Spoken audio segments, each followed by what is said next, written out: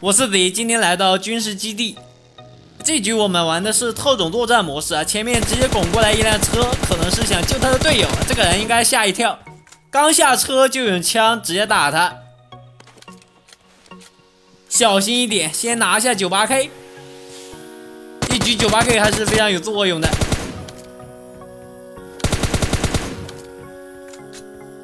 看似周围没有人，毒也已经都缩了，没想到还这么多。这都是藏着的呀！来到防空洞附近，有个摩托车过来找他。这扫着扫着，又过来一个碰瓷儿的。那你队友跑了，你留下吧。这时候注意一个细节，不要直接补掉，那队友可能会停车，就像这样。那只要停车都好说，两个人都要交代在这里，一个不剩。他撵过去，有点残忍啊！小孩子不要看。此时，这两个小兄弟应该很绝望吧？好不容易掏了这么多包，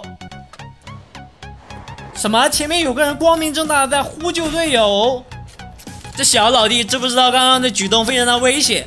来，给他跳一波今年最流行的舞步。跳完之后看他无动于衷，那我们直接放他走吧。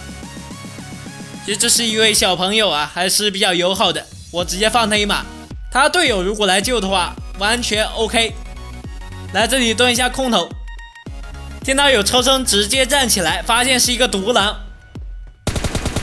这个人应该绝代圈不敢再这么捡空投了。刚刚放过那位兄弟一马，应该是可以被救起来吧？到绝代圈，这个人看着呆头呆脑，直接停下车来跟他打。虽然非常危险，但是很透气。最后还剩下两位小兄弟，这应该就是刚刚我们放他一马的。来，决赛圈跟他们拼一波拳法。其子怡一打二的话有点劣势，但是站在子怡是三级头三级甲，并且饮料全满。来，再给他跳一波舞步，我都被我自己迷到了。我还是那么的优雅，我依然还是我。救起来之后再来一波吧。